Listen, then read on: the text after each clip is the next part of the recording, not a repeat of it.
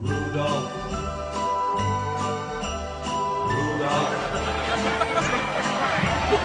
Rudolph the red-nosed reindeer had a very shiny nose.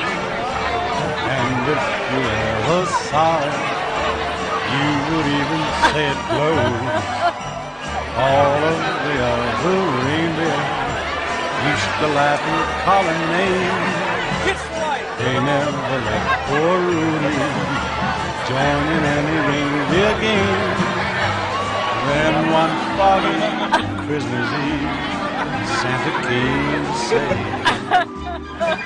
Rudolph, with your nose so bright, won't you guide my sleigh right? Then how the reindeer loved him as they shouted out with glee. Rudy the red-nosed reindeer, Almost got it. you'll go down in history. Oh no, they didn't.